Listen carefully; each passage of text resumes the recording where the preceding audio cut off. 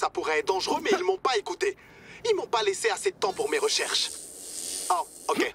Tu vois, si tu prépares ton overcharge dans une cuve haute pression et que tu ajoutes pile poil les bons ingrédients, tu peux obtenir du super matos. J'appelle ça des rushs. Et tu peux me croire, tu vas adorer. Mec, tu me rappelles un certain Heisenberg.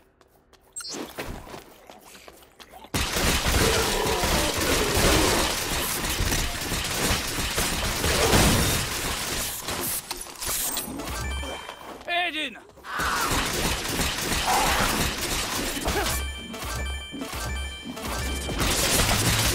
Je crois que je les ai tous eus Il y a un autre chargement là-bas, au bout de la voie.